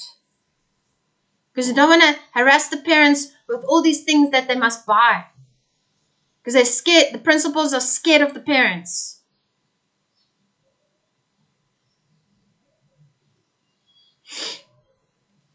All these things god is going to bring every act into judgment, everything which is hidden, all these secret evil things that are happening in the daycares, whether it is good or evil. You can't just put your hands in a bucket of water before you eat your food. You need soap to kill the germs. There's a lot of things that daycares are hiding. I have exposed them today to educate you, though you don't know which daycare it is, because I'm not saying it's all the daycares. I've worked in daycares that are sprinkly clean. They are good in that area. They are good in having soap. They are good in harassing parents for uh, sanitizers, Dettol, toilet paper, soap, everything that they need to clean to have stationery. Then you have daycares where they don't want to harass the parents. So they don't have soap, they don't have they don't have sanitizer, they don't have detergents. They just wipe things with with water. It's up to the teacher out of a 2,500 rand to go get Dettol for her classroom or Handy Andy. Why must she pay for everything? I have worked in a daycare where there are resources, and I've worked in a daycare where there is no resources. Where I had to pay for everything out of my pocket. If there is 25 children in my class, and I want to make a hand puppet, I must go out of my little salary go to the shop and buy 25 color paper, 25 uh, I must get wool to put on the hair for 25 hand puppets. I must go get the, the glitter to put on there out of my own salary. Otherwise, there's not going to be an arts and craft if it doesn't come out of my pocket because the principal is too scared to ask the parents for resources after they have paid their school fees or daycare fees, whatever you want to call it. So after they pay their daycare fees, they don't want to ask the parents for anything else. And then the teacher must do it. If there's no some some some uh, daycares they only ask for stationery once a year. So when those crayons are finished, you get teachers that won't buy. So then there's no more activity really. It's just not happening. Because what are you going to draw with? Your finger. The crayons are finished. Some daycares, they have a file for the children. Some daycares don't have a file. Because there's no stationery. So what activities can you do if you don't have paint? If you don't have crayons? If you don't have Play-Doh? If the Lego is finished?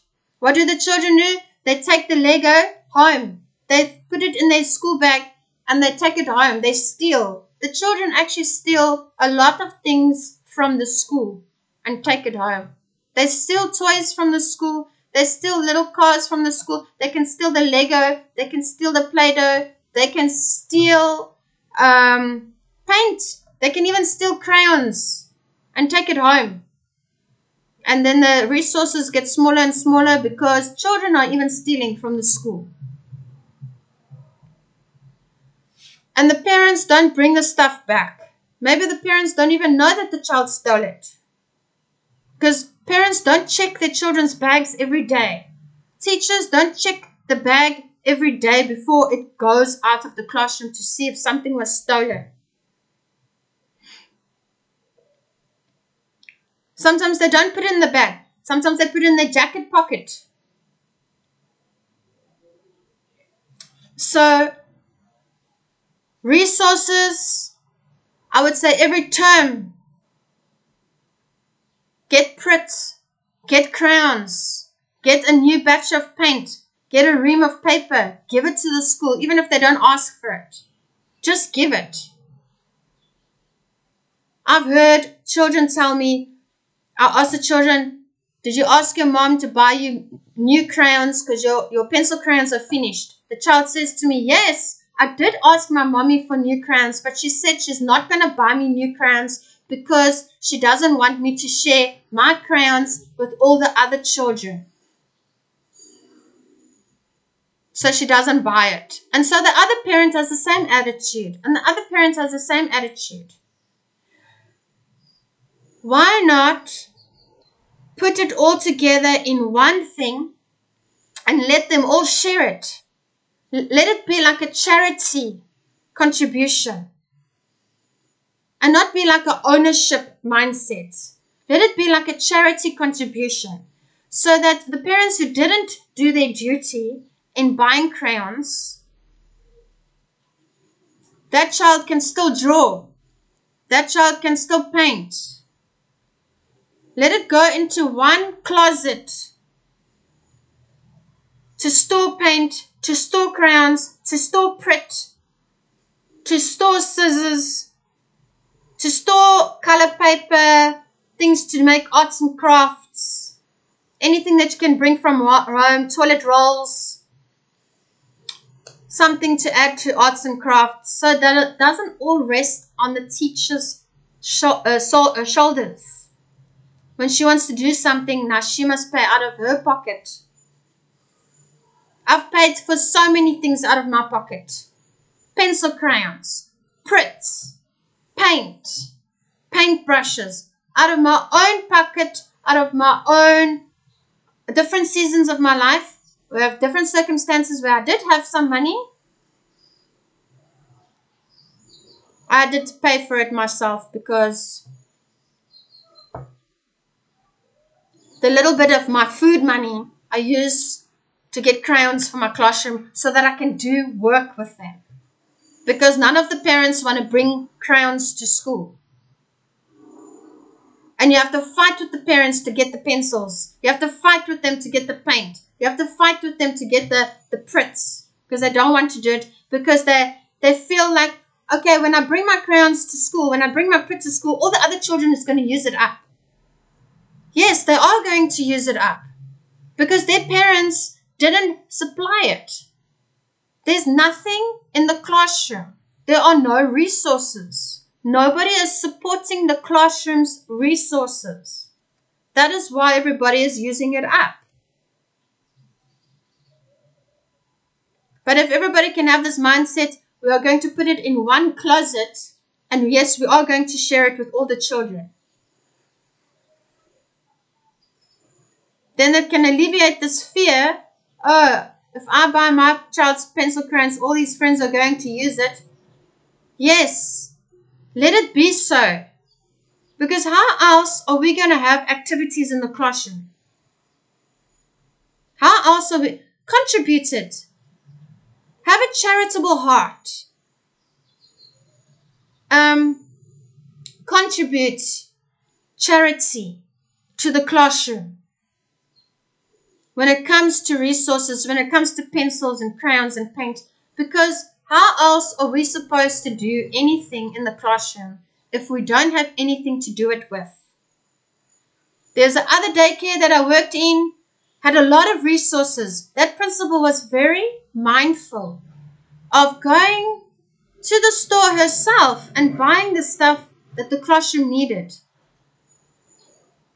She didn't get the stationery from the parents. She would get like money from the parents and go buy it herself and put it in the classroom like a a, a, a, a bulk contribution to the classroom and it worked very well like that.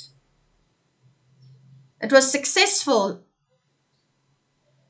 And another school, the teacher, uh, the principal also had a bulk, uh, one closet where everybody contributed to wet wipes, everybody contributed to uh, toilet paper, everybody con- contributed to uh, sanitizer. And so that um, uh, toiletries closet was like a bulk charitable contribution for the school. And the school would use it when that cupboard gets empty, that principal would take a picture of the cupboard, of the shelves getting empty, and making a statement saying, Oh, we're running out of sanitizer. We are running out of toilet paper. And then parents would still come again and get more toilet paper, more tissue boxes, more detergents, and, the, and then she'd take a picture and say, Look, it's full. Thank you very much for your contributions. Now we can continue. And so it wasn't like I'm stealing another parent's wet wipes because it was a bulk contribution for the classroom. Transparent and open charitable contribution for the classroom when it gets empty. Whoever has that can add to the basket, it gets filled up and we can function and the classroom can flow and it can be clean that that was a very good uh, a, a arrangement because that classrooms was always very clean and properly cleansed and the the children getting sick was minimized. The children wasn't as sick because it was very hygienic. Because they didn't say this is my dettol this is my hand they did do it as a group and the parent that doesn't have, that child is still, classroom is still clean. The parent that does have, that's got more, or more of an open heart, or has more, at least at the end of the day, the classroom is clean with proper detergents, toilet paper, proper things, hand sanitizer, proper cleaning material to wash the tables and the chairs, to clean the mats, to, to mop the floor with soap with with handy Andy or whatever. or bleach, proper things to clean and to kill the germs. So, all these things, what I can say is that there's good and there's bad in every daycare. Some daycares are better at cleaning, other daycares have more resources, other daycares don't have. They're not all the same.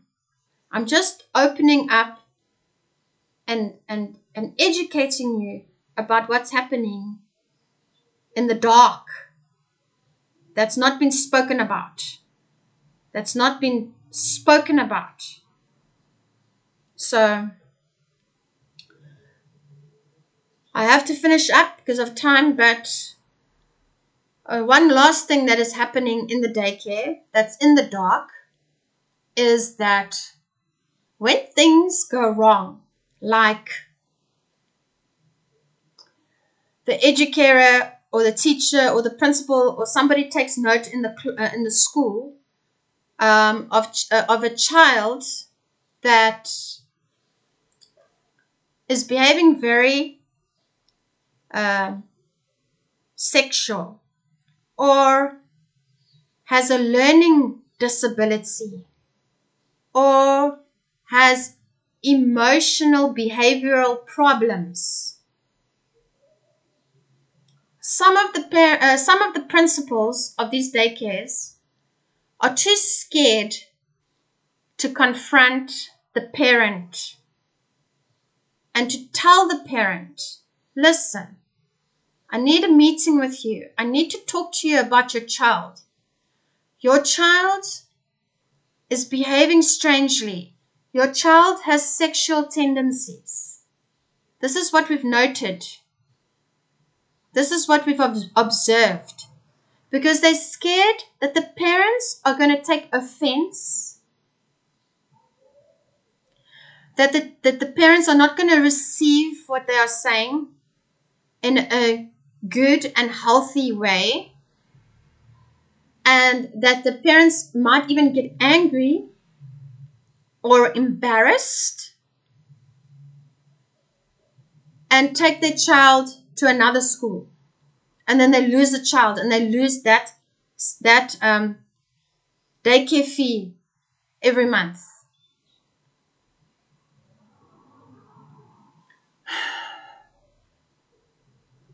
Or they can blame the school. They're scared that the, the parents are going to blame the school and put the blame on the school that their child has got sexual tendencies.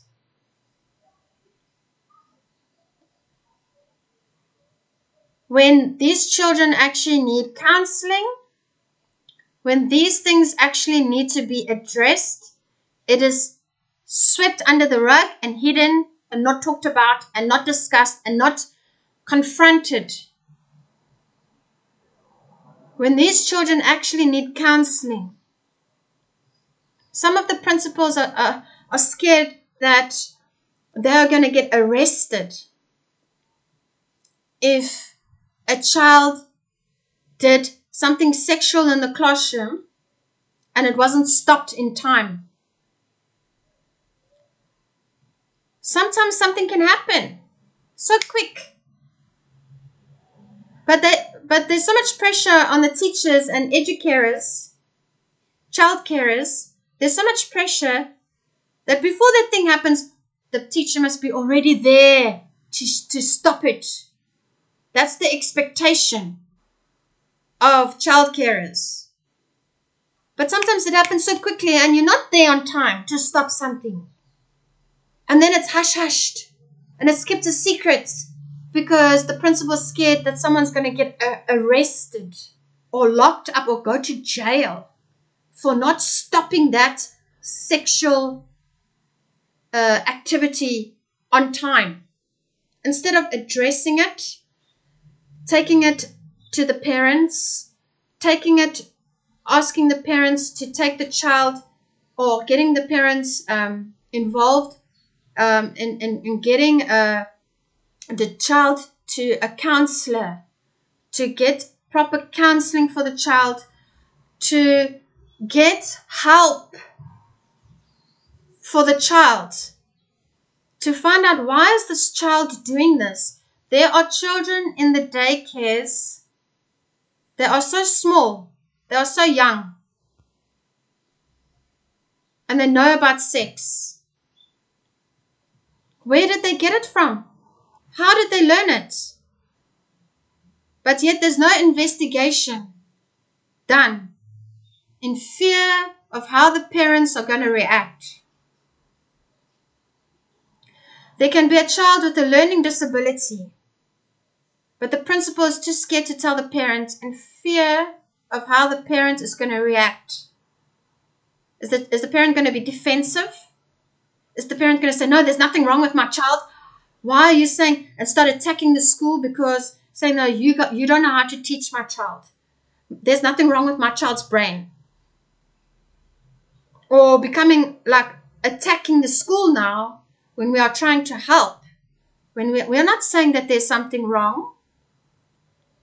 We're just saying the, the principal's even scared to say, we don't, we don't say that your child has a learning disability, but we are advising that you take your child to a professional to check to see if your child might have a learning disability. But the principal is even scared to do it like that in fear of how the parent is going to react. So it's hush hush, it's kept a secret. We just carry on with our routine, with the day, and trying to teach the child child everything we must teach the child. But the child's not learning it because the child can't focus, the child is can't sit on can't sit like everybody else. The child is not doing anything. And it's kept a secret because that principal wants that daycare money from the parent every month.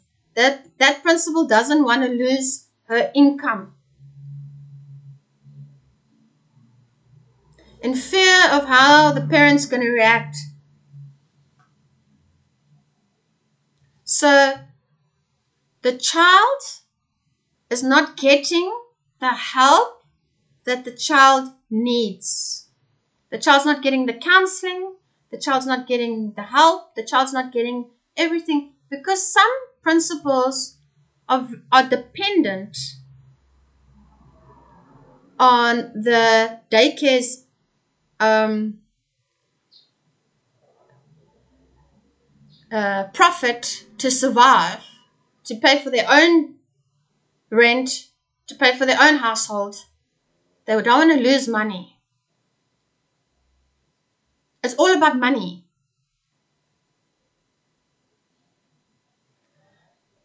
And the scripture says here in Ecclesiastes 12, verse 13 to 14, the conclusion when all has been heard is fear God and keep his commandments. Because this applies to every person. For God will bring every act to judgment everything which is hidden, whether it is good or evil. I pray that this issue, I don't know if this is an issue overseas, uh, in, in other countries.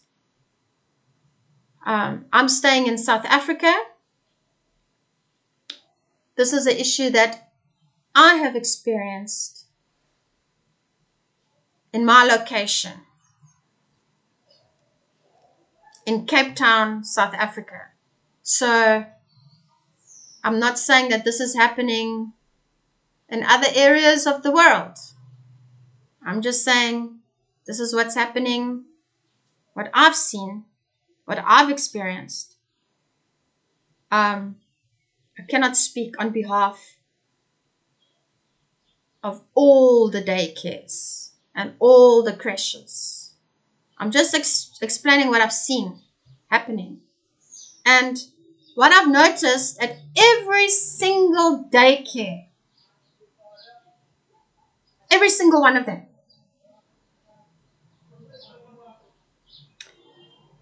without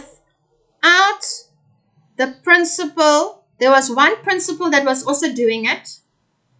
And the other daycares, the principal was not doing it, was not aware. But the teachers were secretly, the educators were secretly eating the children's food from the lunch boxes, just like I was doing it. I wasn't the only one doing it. They were they were going through. They would they will eat it because they are hungry.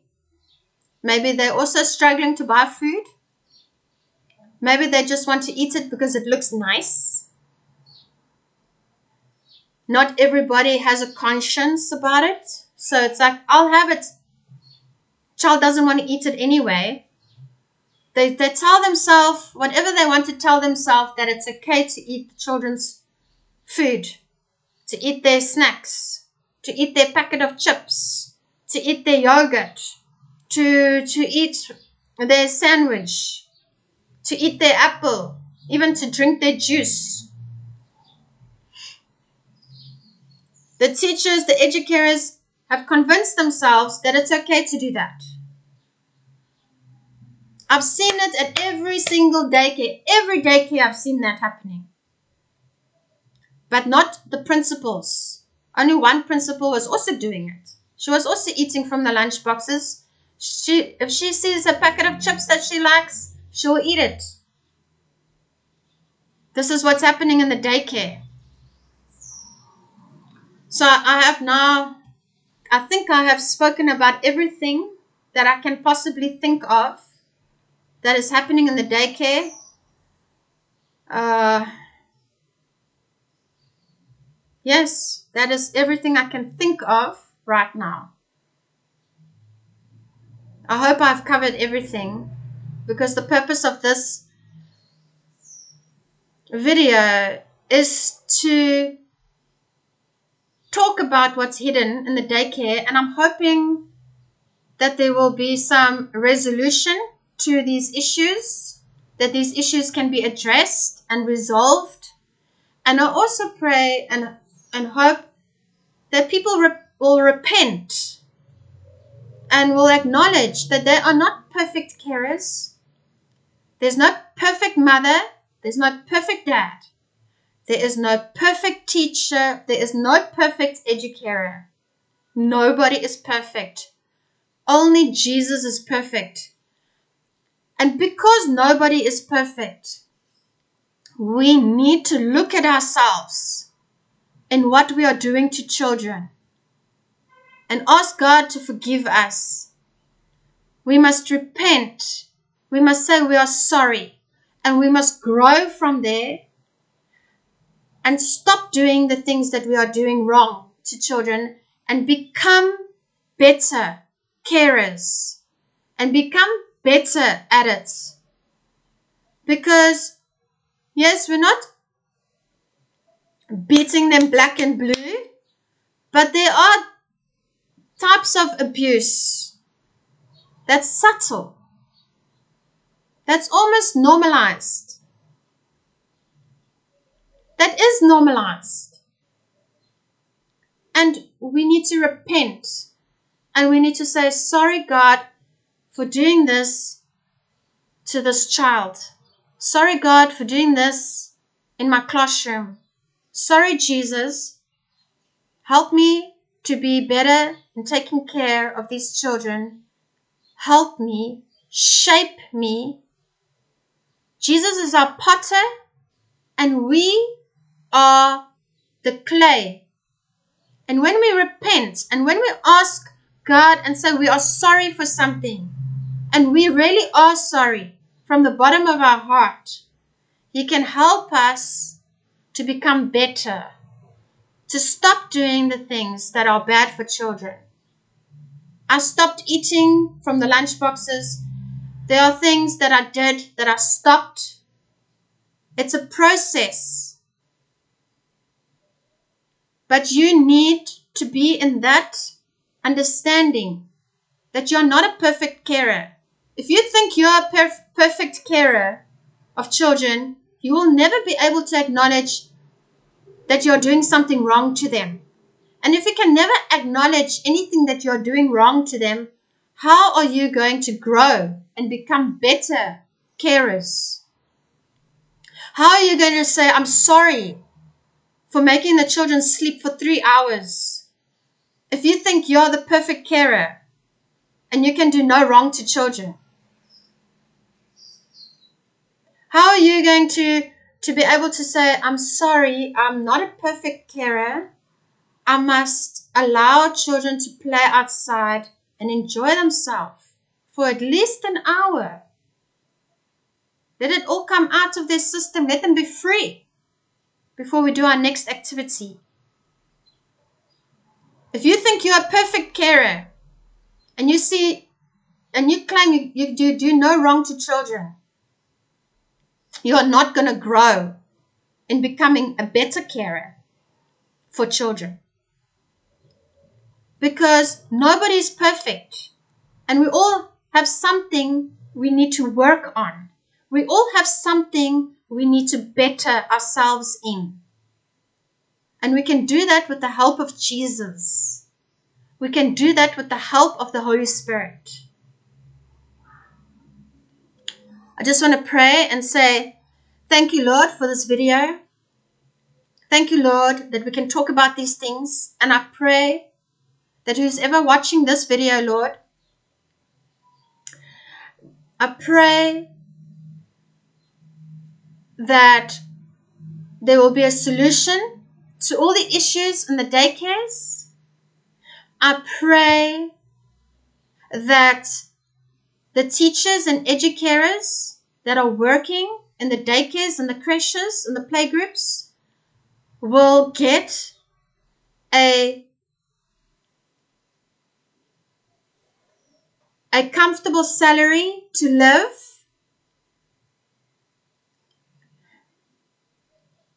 a, a, a, a, normal balanced lifestyle of earning a salary that will pay for their, their flat, their car, that they can eat, that they can have clothes, that they can live comfortably while taking care of children. I pray that all the issues in the daycare get resolved, addressed, confronted, that strategies and planning take place and to prevent these things from happening that is going wrong in the daycare. I pray for the light to come into the daycare and the darkness to run away from the daycare. I pray that Jesus' light shine in all the daycares and that the darkness flee from the daycare. I pray for an end to lies and deceptions in the daycare. I pray, I pray for open and transparency to happen in the daycares. I pray for the parents not to put so much pressure on the teachers and child carers and principals, that the parents will stop complaining so much and give more support to the daycares, give more charity to the, to, to the daycares and the classrooms, that there will be enough resources in the classrooms, enough pencils, enough crayons, enough paint, enough Play Doh, and even contribute toys to the classroom. Contribute what you can to the classroom, contribute clothes for the children who don't have clothes. I pray for parents to be, become more charitable and to give more to the classrooms besides the daycare money every month, that the parents will give what they can and I pray that the government will step in and support the daycares more effectively. I pray that there won't be so much pressure on the children to be academically advanced before their age. I pray that the children will play more and, and, and do be less pressurized academically, but be played because because they are they are children. I pray that they don't oversleep, and I pray that they are not force fed. I pray that if a child has been sexually abused or have sexual tendencies, that that child will get help. If a child has behavioral problems, that that child will get help. If that child has learning problems, that that child will get help. I pray that the principals will be motivated to have daycares because they will still earn a sustainable profit income, that their profit margin will be large enough for them to be motivated to have daycares. Because what are we going to do without daycares? Where are we going to take our children? Who's going to look after them when we want to go to work? When we want to go run our business? So the principal must also benefit out of this whole thing. And the principal needs to be supported. The entrepreneur also needs support to be motivated to have a daycare, to earn a profit, a business entrepreneurial profit, to earn a happy profit. The teachers and educators to earn a good income. The classrooms to be supported with enough stationery. That there be enough toiletries and cleaning, faci- uh, cleaning facilities and cleaning detergents. I pray that the light shine in the classrooms of the daycares, that the light shine in the daycares, on the playgrounds, in the classrooms, in the daycares, in the lives of the people that are working in the daycares. I pray for Jesus' light to shine forth and that the darkness flee from our children who are precious and beautiful. In Jesus' name I pray. Amen. Thank you for watching.